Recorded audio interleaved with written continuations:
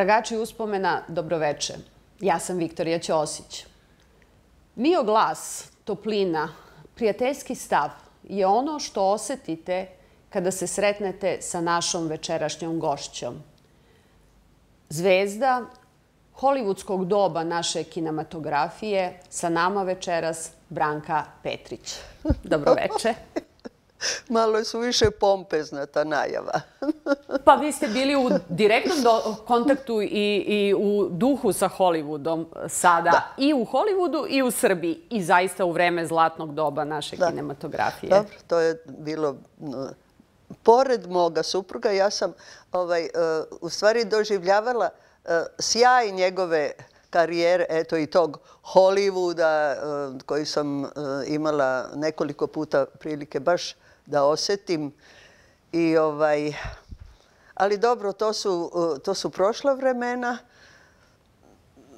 i sad su neka vremena. Da, da. svaka vremena su, imaju da. svoje specifičnosti. Da. I on je, ovaj, stvarno u jednom momentu je Bekim trebao da bude, da postane zaista uh, velika svetska zvezda ali u, prosto u tom biznisu užasno je važno da li taj film u kome ste glavna zvezda postiže veliki i finansijski uspeh.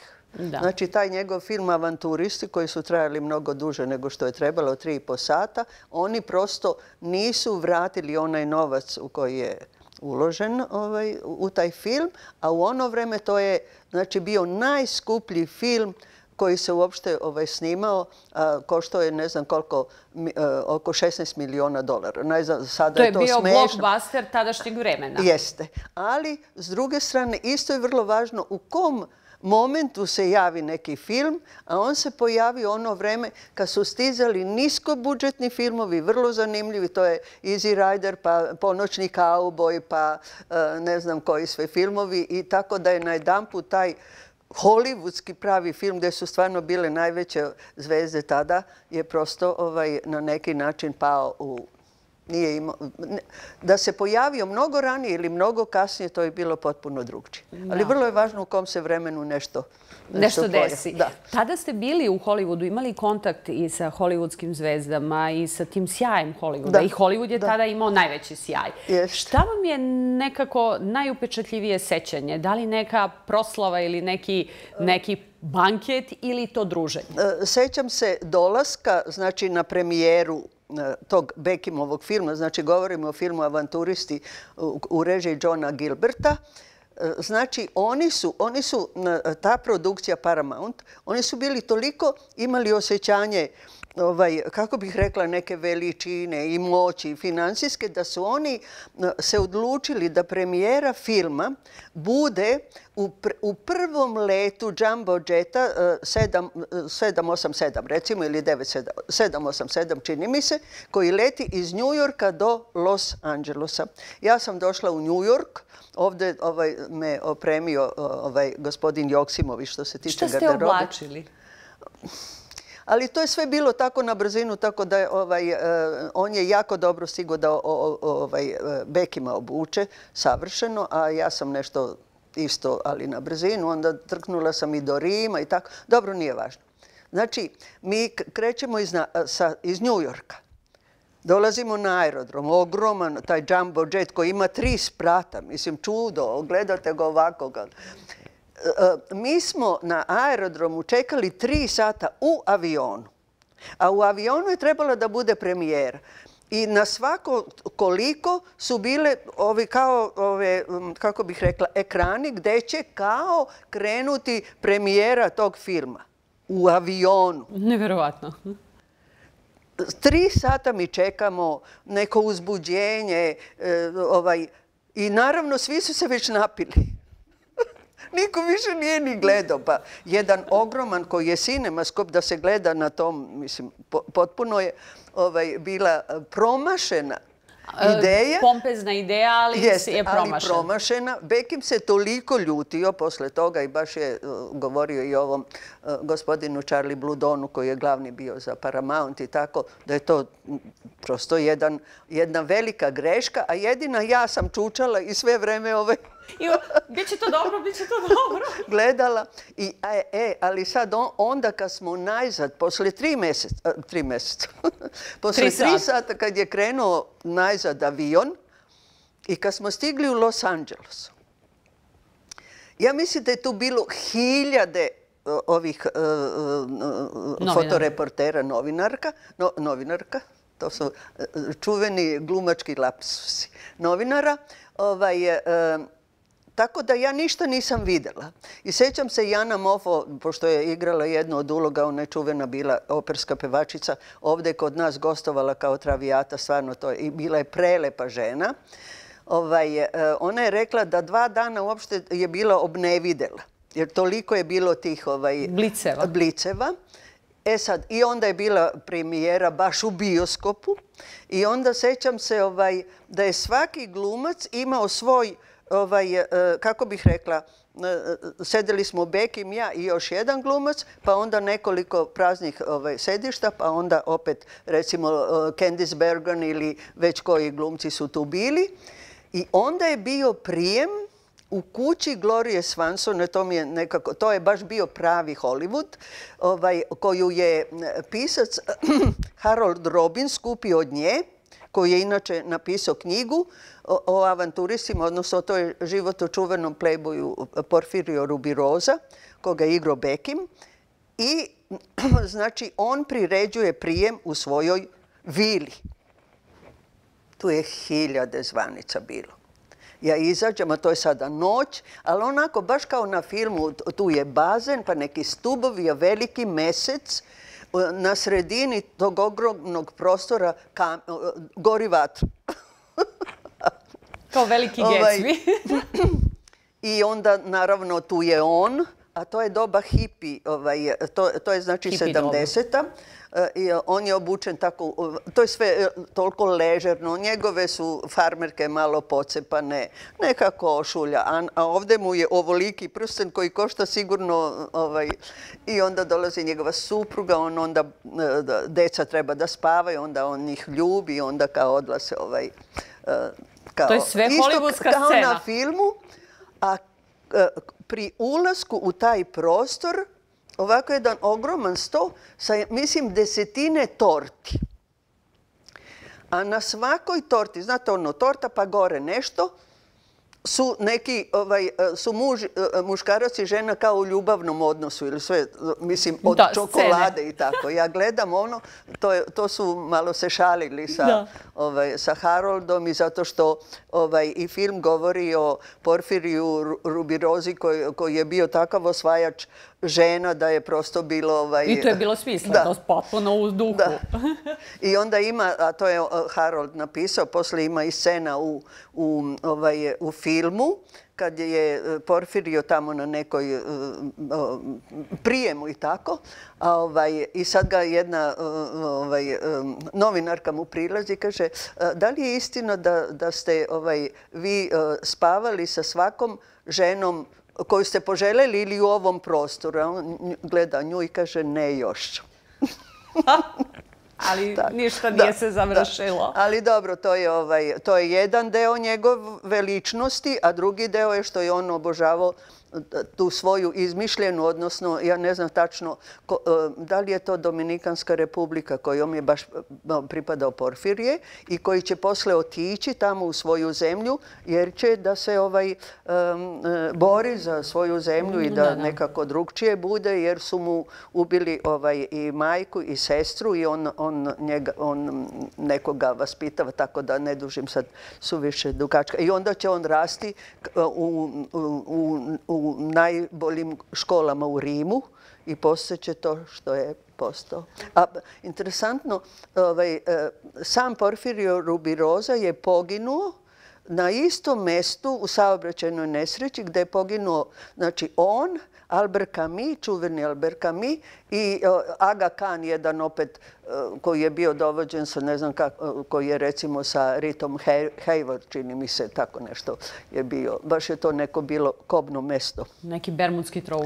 A Porfirio je, znači, bio čuveni polo igrač i ono što sam ja, recimo, stvarno bila e, zapanjena. Ovaj, znači, e, Uliks, Bekim je morao da nauči da igra polo. To sam pročitala, a nikada do tada nije imao iskustva. Da, a njega je, njegov trener je bio baš trener Porfirija e, Rubiroze i kad vidite na filmu, to je užasno opasan sport, vi treba znači da ste perfektan jahač, a da se ne govori onda šta treba sve, kako to da igrate. I mislim ja stvarno, kako je to Bekim uradio i kako, mislim, nema tu sad da kao on je na konju, a ne vidi, pa znate, pa, pa se snima dovde. Da, snima neko drugi. A sećam se kad je ovde bila, to je u doba kad smo bili Jugoslavija i kad je ovaj, ovde bio suprug britanske kraljice i gospođa Jovanka Broz je predstavljala naše glumce, Lady Anika, što sam je možda pomenula, princu Filipu. E, tu je ovaj, e, naravno bile predstavljene i Milena Dravi. Svako je imao svoj red, sve je to protokol bio fantastično ovaj, onako organizovan. Onda dolazi na red Bekim, onda Bekim ulazi, onako je bio zgodan i ne znam kako su, kaže da su jako se smeškale sve ove gospođe koje su to bile. Tu je bio i princ Filip, oni se pozdravljaju. I onda ovaj, e, Bekim kaže, e, ja sam čuo da ste vi bili odličan igrač pola. I onda su nešto razmenili tako nešto. Malo iskustva vezana za polo. Da, u tom smislu. Tako, to su sve, mislim, e, kako bih rekla, neki mali detalji. Ovaj, vi ste tragači uspomena. Tragači uspomena. A ja sam ovde tegljač. Ja sam, da, da. I dobro, te, te, to što ima u tim, ajde nazovimo, ovaj, šta se teglja? Tegljaju se neka kola ili neki koševi, ne znam, puni ne znam čega. A u tim mojim koševima ima i toliko prelepih stvari i naravno i tužnih kao što je svakom životu. Kao što svaki život i jeste. Da, i onda sam, dok sam to sad, zahvaljujući koroni, ja sam jako mnogo prolazila kroz moju arhivu. Kad pomislim, pa to je eh, to je 60 godina mog puta i Bekimovog i tu je sad i Uliks, tu je i njegova supruga Snežana, tu je moj sin Hedon, tu je ovaj, moja unuka Nika. I sad onda kako da to sredim, kako da e, ovaj, e, klasifikujem. I onda sam pomislila šta bi ja tu još sve našla da je onda bilo onih, ovaj, kao sada, ovih... Društvenih mreža. Koje ličnosti bi na jedan put iskočile, koje su tada bile značajne, a Boga mi i sad koje postoje ovaj, kao neki vrlo ovaj, značajni ljudi, A mi, nas to uopšte nije ovaj, zanimalo, niti smo imali neku kameru pa da snimamo eh, ovaj, eh, našu decu kad su bila mala. Ja ne znam, tako smo, a ipak ljudi u to vreme su to i radili. A vi ste bili vezani za kameru eh, životom? Pa to je tako, to, to stvarno... Zanimljivo je... To, zanimljivo je, pročitala sam da nemate fotografije sa svog venčanja. Nemaju vaši roditelji, nemate njim fotografije. Moji roditelji su se venčali u Sarajevu, znači na putu iz Beograda prema Rijeci, odnosno u Sušaku. Zašto su oni prošli kroz Sarajevo i tamo su se venčali? Jedne fotografije, nema koja venčanica i tako nije ovaj, postojalo. Tako ni Bekim ni ja nemamo jednu jedinu.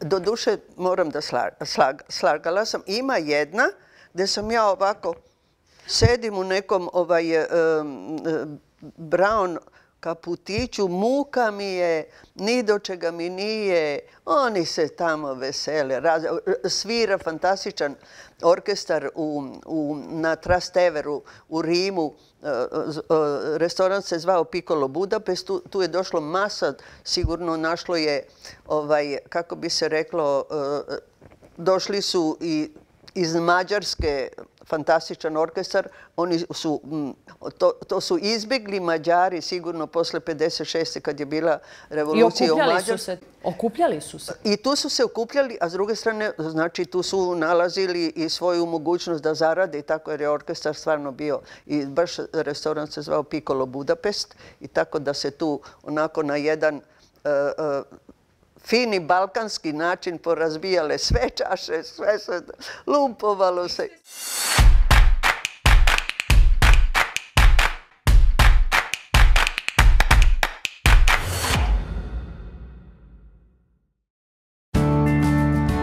Harmonija nije skrivena, izmišljena ili daleka. Harmonija, to su ljudi.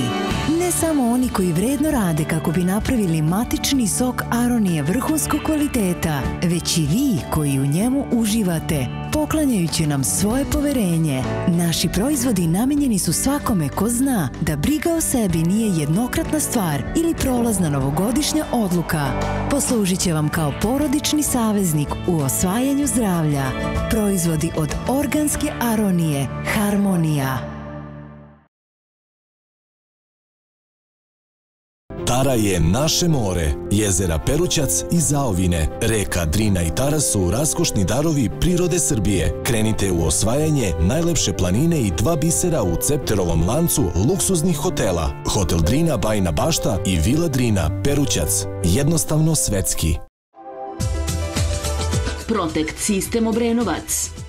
Privredno društvo specijalizovano za projektovanje, montažu, održavanje i distribuiranje sigurnosnih sistema – Tim je sastavljen od mladih i obrazovanih stručnjaka iz oblasti informacijonih tehnologija, telekomunikacija i bezbednosti, koji se uz korišćenje najnovijih tehnologija konstantno usavršavaju kako bi uvek bili korak ispred konkurencije.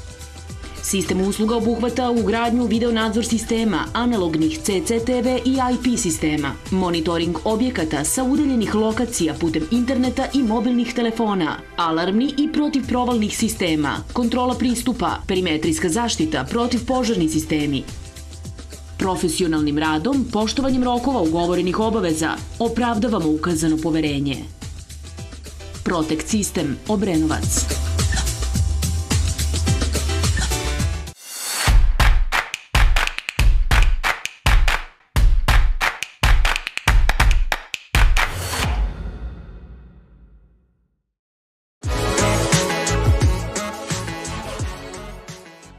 Vi ste se iz dva puta venčavali. Prvi put koliko sam pročitala ste zaboravili dokumenta. Da li je to bio prvi ili drugi put? Ne, to je prvi put. Ja sam, ja moram da priznam, naime, ja nisam znala, u stvari nisam se ni raspitala šta ja treba tamo da Šta treba da imate? Šta ja imam sad? Evo, idem, ja sam ja, on je on, imamo pasoše, ali trebalo je ovaj, ove matične izvode iz matičnih knjiga. Da. I, znači, prvi put kad sam otišla, oni kažu u našoj ambasadi ne možemo. I onda, a ja dobila od pozorišta sedam dana što mi pripada po zakonu. Pa kaže, jesi se venčala? Kaže, venčala sam se. Ja, kaže mi drugarica, ej, ko zna šta može da se desi? Zamisli da se Bekim predomisli. A ti kao pričaš da si venčana. I onda, ovaj, e, dobro, ja dobijem svoj krsni list, odnosno izvod iz matične, a moja mama sama, ja uopšte nisam znala, ona ode u Sarajevo, jer je Bekim tamo rođen, i nađe, on normalno nije ovaj, kršten u crkvi, nego u tamo nekom uredu, i ona donese original njegovog ovaj, tog dokumenta, izvoda. Ja kažem, mama, i onda sam na vikend otišla, kad nisam imala predstave, onda sam otišla, javila Bekimu, donosim ta čuda.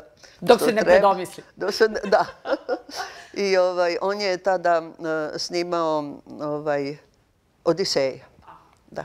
Da. A vaši roditelji, su se venčali tako što je deda našao vašu majku u Beogradu. Da, on je negde ovaj...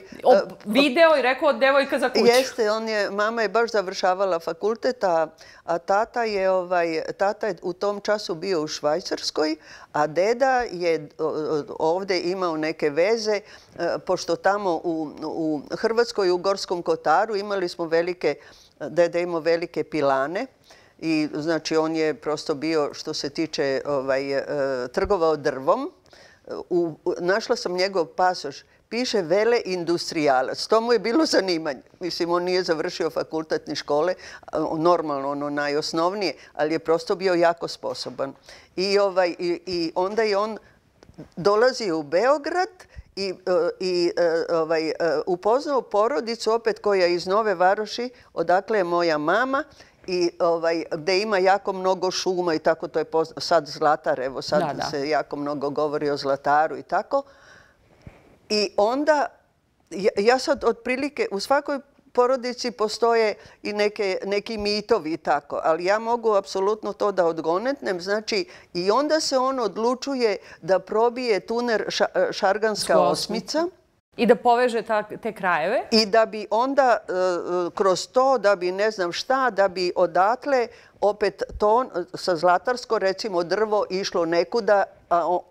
Razumete, mislim, on je u svakom slučaju ovaj, bio, kako bi imao je tako velike ideje, ali onda je on, ne znam, nešto se desilo, uglavnom on je bankrotirao, ovaj tunel je probijen, ali on, znači, u toj porodici upozna moju mamu i mama mu se jako dopala i onda je on rekao, ja imam sin, on će uskoro doći i ja bih voleo da se vi upoznate. I onda su se oni upoznali, a u predstavi e, rođeni u Ju, gde ja tako nešto na brzinu, nešto o tome pričam, znači, e, tata je rođen u e, u Austro-Ugrskoj carevini. Mama je rođena u Turskoj carevini jer 1908. još je Sančak pripadao ovaj, Turcima.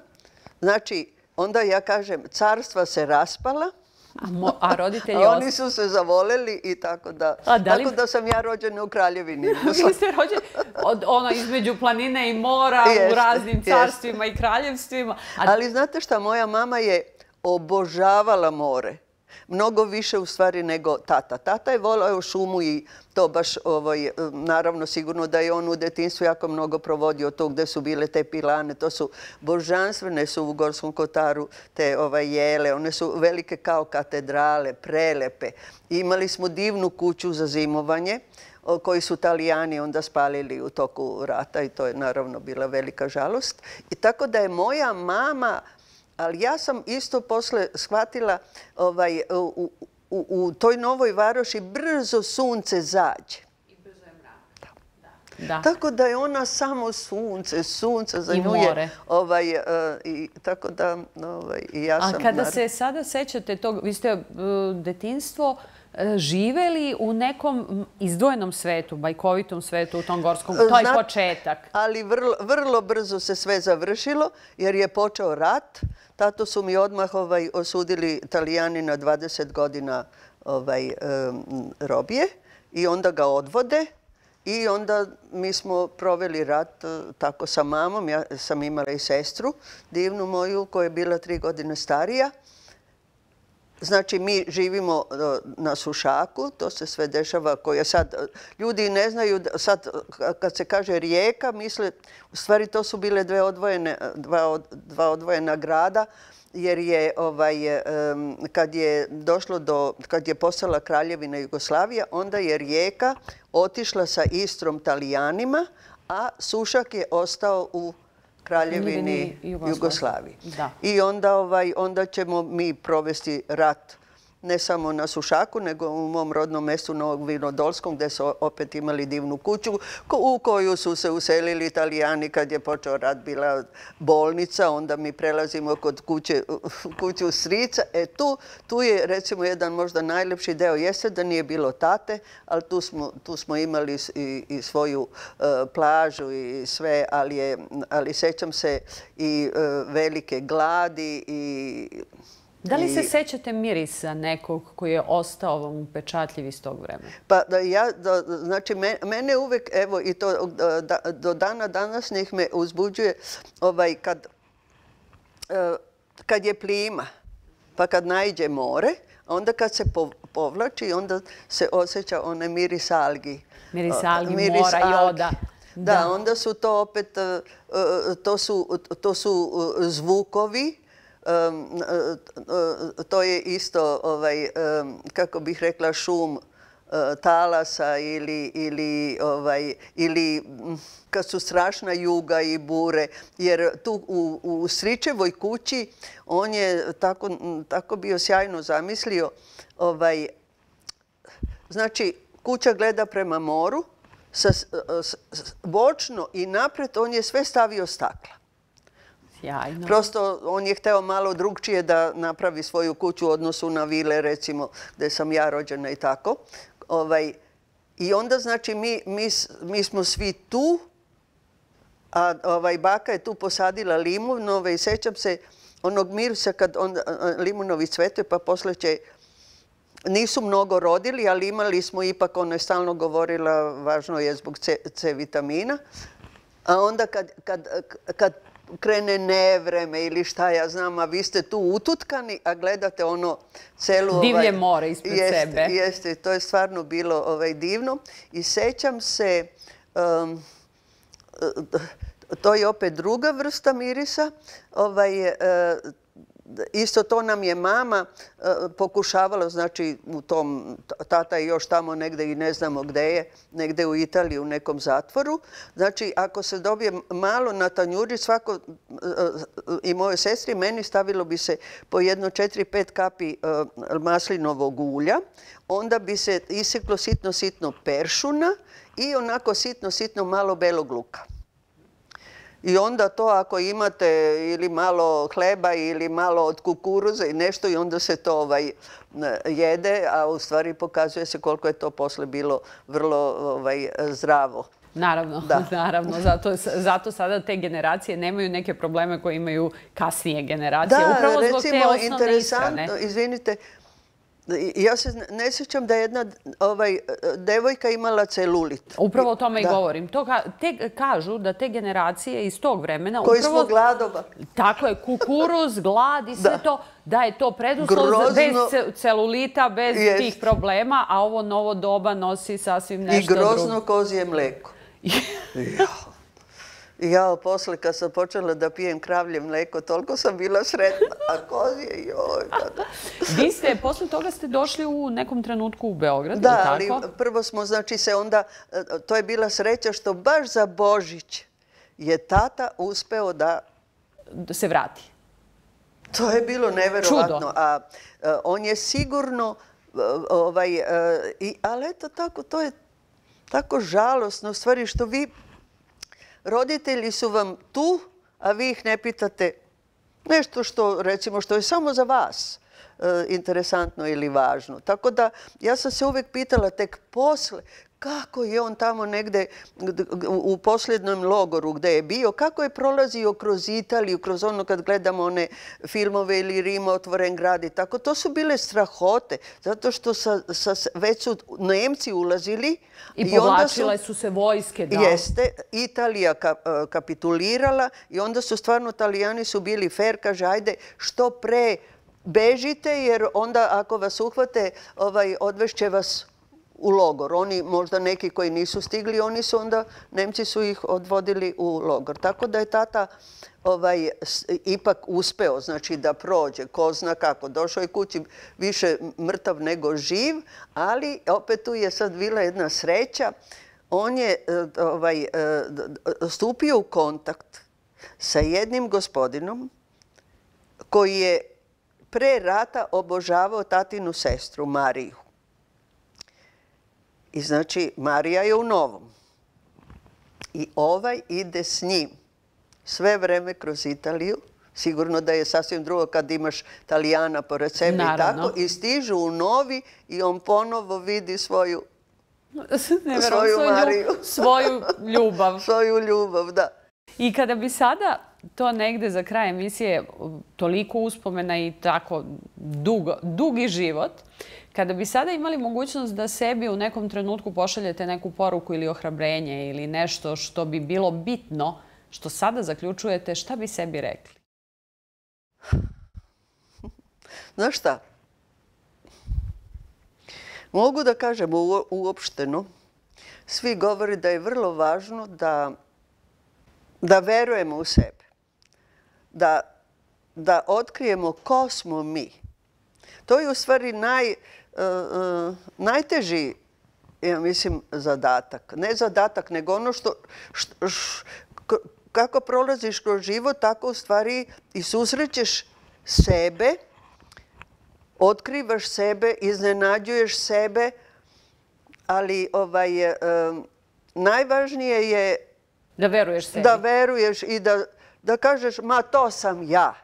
To sam, znate šta je moja mama govorila? Opet, što mnoge žene jako su nesretne, što bi želele da e, izgledaju drugčije ili da...